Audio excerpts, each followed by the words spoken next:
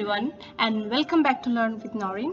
Today we are going to discuss about the character analysis of The Return of the Native written by Thomas Hardy.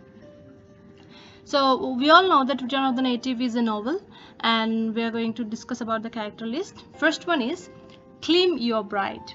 Clem Your Bride is the native who returns to the Edgen Heath from Paris. That means he is the native person who is uh, referred to in the title of the native, um, in the title of the novel Return of the Native. Claim হচ্ছে hero এই নোভেলের hero এবং সে অনেক well educated একজন person এবং সে অনেক বেশি well to do ফ্যামিলির একজন সন্তান। সে ইন্টেলিজেন্ট এবং থটফুল সামটাইমস তার থটফুলনেসটা অনেক বেশি এক্সেসিভ হয়ে যায় এবং সেজন্য তাকে অনেক সময় আমরা আইডিয়ালিস্টিক ক্যারেক্টারও বলে থাকি, কারণ তিনি মানে আইডিয়াল লাইফ লিড করতে চান এবং তার চিন্তাধারা হচ্ছে একটা ideal he is the son of Mrs Yeobright সে হচ্ছে মিসেস ইওব্রাইটের একমাত্র সন্তান এবং তার বাবা বেঁচে নেই। মিসেস ইওব্রাইটই সবকিছু দেখাশোনা করে। সে প্যারিসে ডায়মন্ডের বিজনেস করত কিন্তু সেই তার বিজনেসটা মানে তার মধ্যে একটা সেলফ ফিলিংস আসে রিয়েলাইজেশন আসে। এরপরে সে ডিসাইড করে যে সে তার গ্রামে, অর্থাৎ এদগন হিতে ফিরে যাবে এবং সেখানে গিয়ে সে মানে মানুষের জন্য কিছু করবে, মানুষের কল্যাণে কিছু করবে। এটাই হচ্ছে তার আইডিয়ালিস্টিক থিঙ্কিং আমরা বলতে পারি চাইলে। এবং আমরা দেখতে পাই যে সে গ্রামে ফিরে এসে সেখানে যারা সুবিধা বঞ্চিত, যারা শিশুরা রয়েছে, তাদের জন্য একটা শিক্ষার ব্যবস্থা করে। সে একটা স্কুলের মতো করে, যারা হচ্ছে যে কনভেনশনাল স্কুলে যারা পড়তে পারে না, তাদের জন্য একটা শিক্ষার ব্যবস্থা সে সেখানে করে। এবং ক্লিমের সাথে তার মায়ের রিলেশনশিপটা খুবই ভালো। সে খুব মাকে খুব শ্রদ্ধা করে, সমীহ করে এবং মায়ের সাথে, মাকে সে অনেক বেশি লাভ করে। এবং আপনারা দেখবেন যে ক্লিম ইওব্রাইট কিন্তু ইউস্টেশিয়া ভাইয়ের সাথে তার বিয়ে হয়। বাট ইউস্টেশিয়া ভাইয়ের সাথে যে তার বিয়ে হয়, সেই বিয়েটা কিন্তু তার মায়ের কোনো মত ছিল না। এবং সেক্ষেত্রেই একমাত্র আমরা দেখি যে তার মায়ের সাথে সে ডিভোটেড হওয়া সত্ত্বেও তার মা, মায়ের থেকে তাকে আলাদা হয়ে যেতে হয়। একমাত্র তার বিয়ের কারণে ইউস্টেশিয়া ভাইয়ের সাথে তার বিয়ের কারণে। এবং সে কিন্তু প্যারিস থেকে যে এখানে ফিরে এসছে, সেটার জন্য কিন্তু সে অনেক বেশি হ্যাপি কারণ সে অনেক কন্টেন্টেড ফিল করে। তার মানে সে অনেক প্রশান্তি পায় আসলে তার এই গ্রামে। প্যারিসে তার লাইফটা তার কাছে মনে হতো শ্যালো হলো লাইফ এবং তার লাইফের মধ্যে কোনো আসলে চার্ম ছিল না বা তার, সে যে লাইফ লিডটা করছে সে যে বিজনেস করছে, এটার আসলে সে কোনো মিনিং খুঁজে পেত না। এটার জন্যই সে তার সেলফ কনসাসনেস কনসাসকে সে কোয়েশ্চেন করেছে এবং সে আসলে বুঝতে পেরেছে যে সে আসলে এডগান হিতে এসে প্রশান্তিটা পাবে। এই জন্য সে আসলে চিরজীবনের জন্য এখানে ফিরে চলে আসে। কিন্তু এই জিনিসটা তা আমরা দেখি যে ইউস্টেশিয়া বাই তার যে ওয়াইফ তার ওয়াইফের সাথে কিন্তু তার এই এই জায়গার মধ্যে আসলে কন্ট্রাডিকশনটা হয়, তাদের মধ্যে আসলে এটা মিলে না। এবং একটা সময় আমরা দেখতে পাই যে নোবেলের এক পর্যায়ে গিয়ে সে অনেক বেশি পরিশ্রম করতে থাকে স্কুলের এবং সে অনেক সিরিয়াসলি আসলে ডিসিশন নেয় যে সে একটা স্কুল করবে সুবিধা বঞ্চিতদের জন্য, শিক্ষার একটা ব্যবস্থা করে দিবে, এবং সে অনেক বেশি পড়াশোনা করতে থাকে, অনেক বেশি পরিশ্রম করতে থাকে। একসময় আমরা দেখি যে তার চোখের যে দৃষ্টিশক্তি সেটা আস্তে আস্তে কমে আসতে থাকে, এবং সে আর ওইভাবে পড়াশোনার দিকে মনোযোগ দিতে পারে না, এবং ফ্যামিলি সাপোর্ট ফিনান্সিয়াল যে সাপোর্ট সেই সাপোর্টটা দেওয়ার জন্য সে আসলে ফার্স্ট কার্টার হিসেবে মানে একটা মানে শ্রমিকের একটা কাজ নেয়, যেটা আসলে তার মা এবং তার ওয়াইফের কাছে এটা অত বেশি গ্রহণযোগ্যতা পায় না। এবং সে আসলে এই যে এখানে যে আসতে পেরেছে এটার জন্য সে অনেক বেশি প্রশান্ত এবং আমরা দেখি যে একটা পর্যায়ে গিয়ে আসলে তার ওয়াইফের সাথে তার ডিভোর্স না, আসলে তার রিলেশনশিপের মধ্যে একটা ভাঙন সৃষ্টি হয়। বিশেষ করে তার মা মারা যাওয়ার পরে তার মায়ের মৃত্যুর কারণ হিসেবে সে নিজেকে এবং তার ওয়াইফ ইউস্টেশিয়া ভাইকে আসলে দায়ী করতে থাকে এবং এর মাধ্যমে কিন্তু তাদের মধ্যে একটা সম্পর্কের একটা ভাঙন সৃষ্টি হয় এবং সেটা আসলে আর কখনো ঠিক হয় না। ইউস্টেশিয়া তার বাড়ি ছেড়ে তার দাদুর কাছে চলে যায় গ্র্যান্ডফাদারের কাছে চলে যায়। এবং ক্লিম আসলে পরে চেষ্টা করে চিঠি লিখে, কিন্তু সেটা আসলে সম্ভব হয় না বা ইউস্টেশিয়ার কাছে চিঠিটা পৌঁছায় না। সে ইউস্টেশিয়া পরে আবার, সে আবার প্ল্যান করে যে পালিয়ে যাবে তারপরে হচ্ছে সে মারা যায়। এবং শেষ পর্যন্ত আমরা দেখি যে ক্লিম আসলে তার লাইফের শেষটা আসলে আমরা দেখি যে সে আসলে একজন প্রিচার হিসেবে, একজন প্রিচার হিসেবে তার নিজেকে আত্মপ্রকাশ করতে থাকে এবং শেষ, তার জীবনের শেষ পর্যন্ত সে আসলে গ্রামের মানুষদেরকে আসলে প্রিচ করে যায়। তো এই হচ্ছে আমরা ক্লিম ইউভরাইটের কথাটা দেখলাম। এরপরে সেকেন্ড ক্যারেক্টার হচ্ছে ইউস্টেশিয়া ভাই ইউস্টেশিয়া ভাই হচ্ছে আমাদের যদি ক্লিম যদি হয়ে থাকে আমাদের এই নোভেলের হিরো অথবা প্রোটাগনিস্ট ইউস্টেশিয়া ভাই হচ্ছে হেরোইন অথবা লেডি প্রোটাগনিস্ট এবং আমরা দেখি যে the nineteen year old sensuous beauty she is the heroine in the novel she desires to love a man who will take her from the dreary miserable world she knows living on the heath আচ্ছা ঠিক আছে। So Eustacia হচ্ছে একজন young এবং handsome এবং she is highly ambitious women এবং তার মধ্যে একটা ম্যাগনেটিক একটা লিওর আছে, যেটার কারণে আসলে সে অনেক বেশি অ্যাট্রাকটিভ এবং সে বিশেষ করে যারা আমাদের এখানে মেল কাউন্টার পার্ট আছে মেল ক্যারেক্টার আছে, তাদেরকে অনেক বেশি অ্যাট্রাক্ট করে এবং সে তার মধ্যে যে প্যাশনেট নেচারটা আছে হয়তো বা এই সমস্ত কোয়ালিটির কারণে আমরা দেখি যে সে একজন হিরোইন এবং প্রথমেই আমরা দেখেছি যে ইউস্ট্রেশিয়া ভাইয়ের সাথে কিন্তু আরেকজনের রিলেশনশিপ ছিল, সে হচ্ছে ডেমন উইলডেভ ডেমন উইলডেভের সাথে রিলেশনশিপ থাকা সত্ত্বেও সে প্রথমে হয়তো ভাবতো যে ডেমন উইলডেভ তাকে এই এডগান হিট থেকে নিয়ে যেতে পারবে। কিন্তু পরক্ষণে যখন ক্লিম ইউব্রাইট যখন প্যারিস থেকে আসে ইউস্টেশিয়া ভাই অনেক বেশি অ্যাম্বিশাস হয়ে যায় ক্লিমের সাথে বিয়ে করবে এবং ক্লিমের সাথে সে প্যারিসে চলে যাবে। তো ইউস্ট্রেশিয়া ভাইয়ের মধ্যে একটা সবসময় ফিলিংস অফ ডিসস্যাটিসফ্যাকশন কাজ করতো। সে কিন্তু এই হিতে জন্মগ্রহণ করে কোনোভাবেই স্যাটিসফাইড না। সে সব সময় মানে একটা, তার মধ্যে একটা ক্রেভিংস কাজ করে যে সে চায়। এই এই এডগান হিট বা এই গ্রামের এই মিজারেবল লাইফ থেকে সে পালিয়ে যাবে, কোথাও দূরে কোথাও চলে যাবে, বিশেষ করে শহরে বা চাকচিক্য কোনো জায়গায়। প্যারিস হচ্ছে তার কাছে একটা ড্রিম লাইফ তো সে সেখানে যাবে এবং সেখানে নিয়ে যাওয়ার জন্য যে মানুষটা তাকে হেল্প করতে পারবে, সে, তাকেই সে বিয়ে করবে। এই ধরনের একটা সুপ্ত একটা ইচ্ছা বা প্রতীক্ষা, প্রত্যাশা আমরা সবসময় ইউস্টেশিয়া ভাইয়ের মধ্যে দেখতে পাই। এবং সে প্রথমে ডেমন উইলডেভকে ভালোবাসতো বা ডেমন উইলডেভের সাথে তার একটা ইনফ্যাচুয়েশনের রিলেশনশিপ ছিল।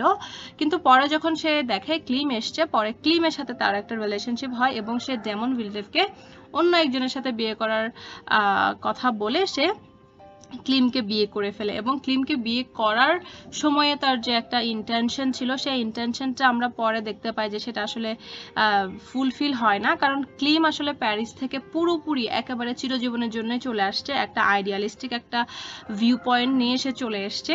কিন্তু ইউস্টেশিয়া বারবার মনে করতো যে হ্যাঁ সামহাও হয়তোবা সে যদি ট্রাই করে ক্লিমকে কনভিন্স করতে পারে আবার প্যারিসে চলে যাওয়ার জন্য, তাহলে হয়তোবা তার যে ড্রিমটা ছিল to go out outside of the heath সেই ড্রিমটা হয়তো ফুলফিল হবে।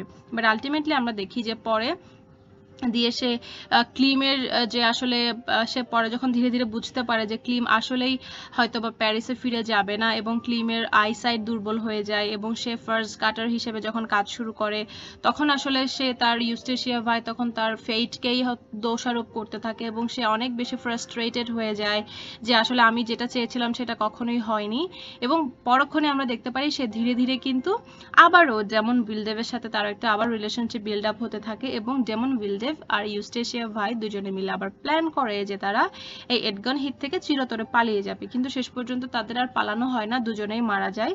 আমরা যখন নোভেলের সামারিটা পড়ব, তখন এটা আমরা আরও ক্লিয়ারলি জানতে পারব। তো তার এই যে হেট রেট মানে এই এডগান হিট বা তার যে জন্মস্থান, এবং সে তার তার বাবা মা নেই, আমরা দেখেছি, সে তার গ্র্যান্ডফাদারের সাথেই থাকে, এবং বিশেষ করে সেই কারণেও হয়তো বা তার একটা লাইফের মধ্যে একটা একটা আকাঙ্ক্ষা ছিল যে সে আরও নতুন কিছু দেখবে। She will roam around the world and see every everything there outside so সেটা আসলে তার আর হয় না।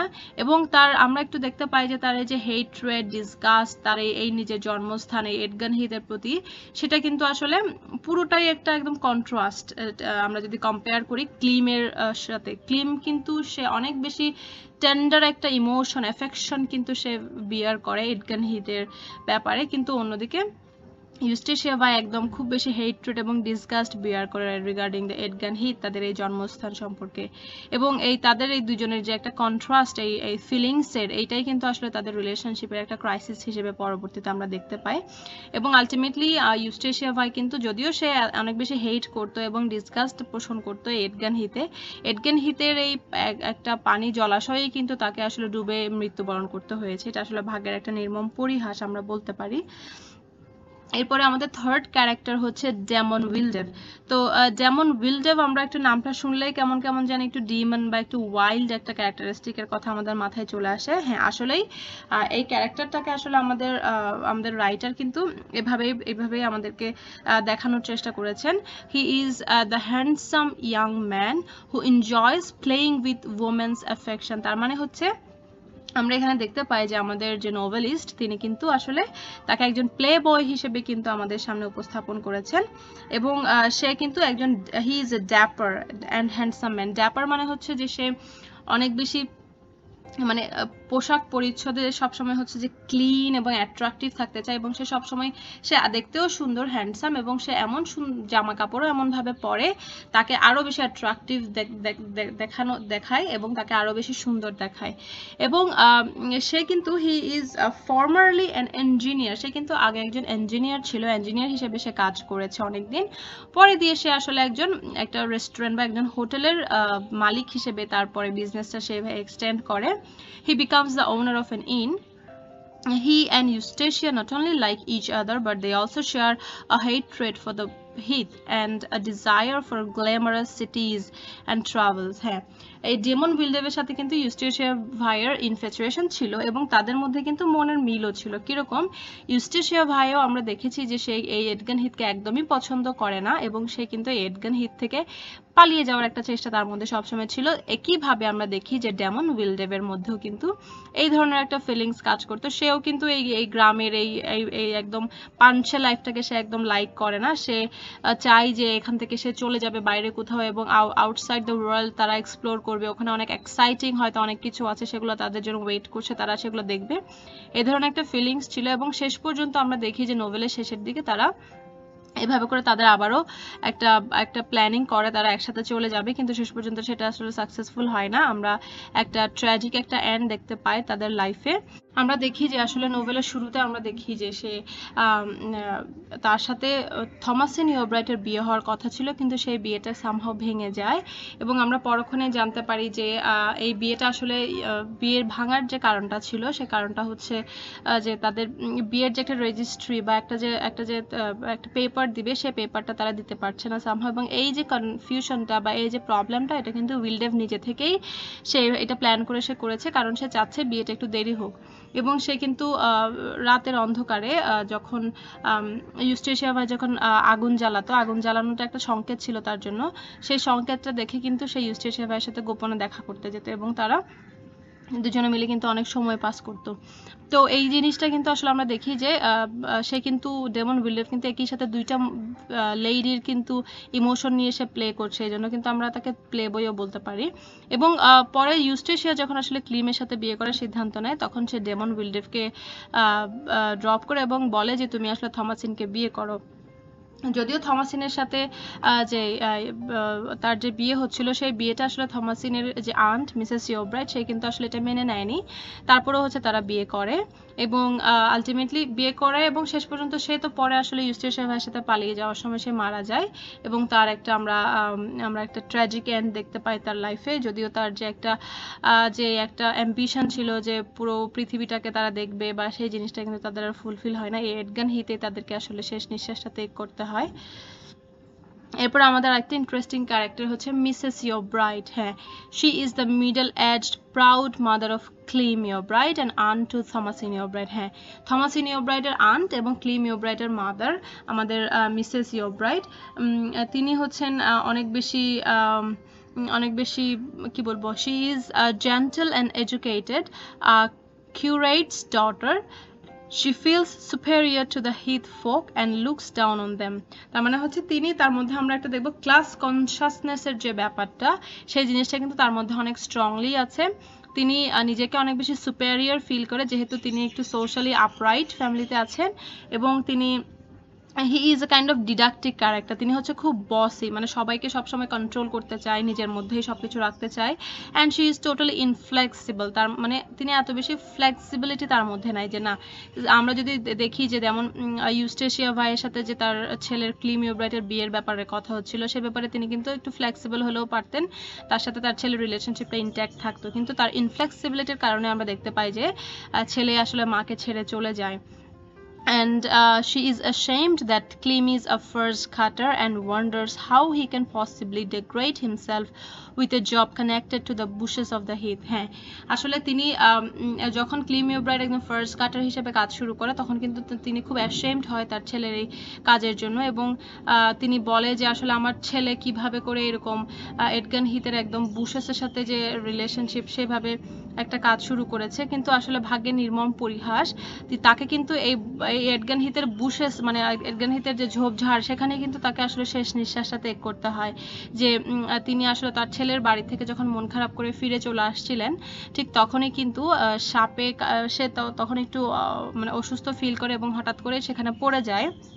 রাস্তার মাঝখানে এবং তার একটা বিষধর সাপ তাকে কেটেছে এবং সেভাবেই আসলে সে মৃত্যুবরণ করেছে এবং মৃত্যুর সময় তার একটা যে, একটা শেষ একটা যে, একটা ফিলিংস ছিল সেটা আসলে এত বেশি ভালো ছিল না। She died with a very bitter feelings her last words express her believe that she is a broken hearted women cast off by her son হ্যাঁ সে যখন মারা যাচ্ছিল তখন তার আসলে একটা ফিলিংস ছিল যে সে একজন হচ্ছে ব্রোকেন হার্টেড ওমেন যে আসলে তার দুঃখ ভারাক্রান্ত মন নিয়ে সে ফিরে আসছে, তার ছেলের বাড়ি থেকে। ছেলে তাকে আসলে দূর দূর করে তাড়িয়ে দিয়েছে। যদিও এটা আসলে ভুল ধারণা ছিল ক্লিমিওব্রাইট জানতো না যে তার মা তার বাড়ি থেকে আসলে মন খারাপ করে ফিরে আসছে।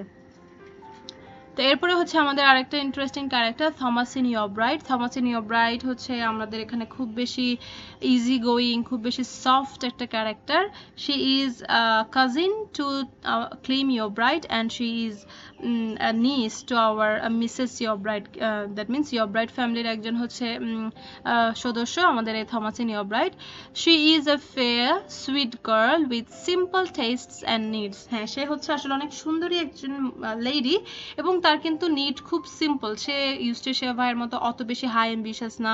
সে অল্পতেই তুষ্ট হয়ে যায় এবং সে অনেক বেশি মিষ্টি স্বভাবের একটা একটা female she is shy and mild mannered সে কিন্তু অনেক বেশি মানে শাই ফিল করে, সবখানে অত বেশি আউট স্পোকেন না।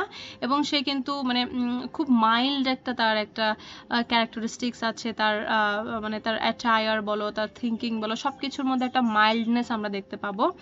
এবং সে thinks very highly of her family's opinion সে কিন্তু সবসময় তার নিজের অপিনিয়নটা আছে, কিন্তু তার ফ্যামিলিকেও সে অনেক বেশি প্রাধান্য দেয়। এদিক দিয়ে আমরা আসলে অনেক টুকুই চিন্তা করলে দেখতে পাই যে, সে কিন্তু আমাদের ইস্টেশা ভাইয়ের সাথে একদমই পুরো উল্টো, অন্যরকম। And Thomasin declares that she will marry Wildev, even though her aunt does not approve. হ্যাঁ মানে সে আসলে শেষ পর্যন্ত উইলডেভকে বিয়ে করে, যদি তার যদিও তার আন্ট মানে মিসেস ইয়োব্রাইট অ্যাপ্রুভ করে না, কিন্তু তাকে তো আসলে একটা সেটেলমেন্টে যেতেই হবে। এবং আমরা নোভেলের মধ্যে আমরা দেখতে পাই যে শুরুর দিকে সে কিন্তু একদম নাইভ এবং ম্যানিপিউলেবল মানে তাকে ইজিলি যে কেউ ম্যানিপিউলেট করতে পারে, এই টাইপের একটা ক্যারেক্টার আমরা তার মধ্যে দেখতে পাই। কিন্তু শেষের দিকে বিশেষ করে নোভেলের শেষের দিকে আমরা দেখতে পাই যে সে আসলে অনেক ম্যাচিউর চিন্তাধারার একটা লেডিতে পরিণত হয় এবং তার ডিসিশনগুলো আসলে অনেক ম্যাচিউর হয় এবং শেষ পর্যন্ত আমরা দেখি যে সেই কিন্তু হ্যাপিলি ম্যারিড এবং তার একটা হ্যাপি এন্ডিং আমরা দেখতে পাই। So Thomasin is practical and thoughtful সে কিন্তু আবার প্র্যাকটিক্যাল মহিলা। সে অনেক অনেক কিছু মানে চিন্তা আসলেও কিন্তু সে প্র্যাকটিক্যালি এটাকে আসলে পরে হ্যান্ডেল করতে চায়।